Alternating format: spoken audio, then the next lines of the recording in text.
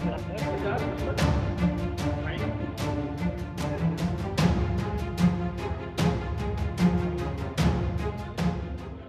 और मेरे कई साथियों के नोट निकले हुए हैं मेरे सौ रुपये निकले हैं